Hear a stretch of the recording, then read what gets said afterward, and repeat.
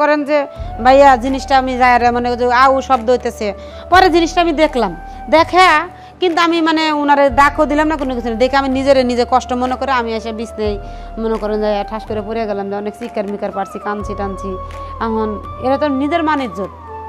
এখন আমি যদি এগুলো যদি মানুষের কাছে কই, তাহলে তো মানুষে খারাপ করব বোঝেন নাই?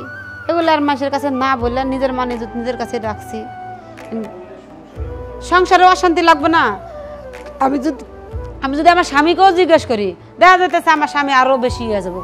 হয়তো আমি নাও থাকতে পারি এই জায়গায়। যখন দেখতেছি যখন আমার জালের সাথে আর এরকম একটা সম্পর্ক। হয়তো আমার বাইর থেকে বাইরে করে দিতে পারে, কি সংসারে অশান্তি হতে পারে। আমি আমার জালেরও সরম দিই নাই, জামাইরও সরম দিই নাই। যে থাক, ওরা ভালো থাকুক, আমার ভিতরে আমি কষ্ট নিয়ে, চাপে নিয়ে থাকি। বুঝেন নাই? না, আমি কোনো রাগ টাগ করি না।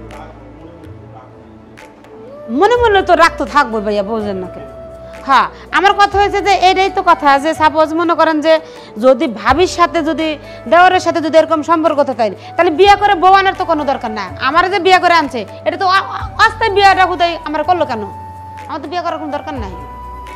তো বারো শরীর বলল কি, থাকা থাকা কামেলা করুক, যেমন করতেছে আমার জামাই, ওরকম করে করুক, তাহলে আমার কেন বিয়ে করছে ভাই, আপনি বলেন।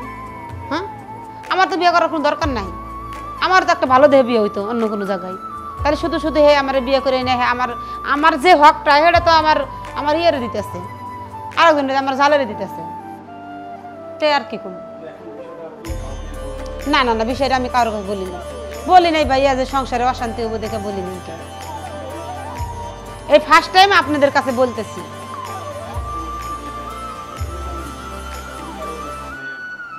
মানে এ, আমার কথা হলো যে আপনারা কেন মনে করেন আমার, এইটাই তো আমি বলতেছি ভাইয়া যে আপনারা একটা কথা বলি, এই দর্শকের দর্শকের ইয়েতে আমি একটা কথা বলতেছি, আপনারা শোনেন। এমন কোনো কাজ করবেন না।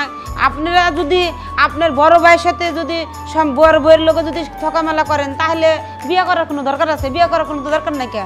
তাহলে শুধু শুধু আপনারা আর এই ভুল টুল করবেন না? আল্লাহ রাস্তে মাপ চাই।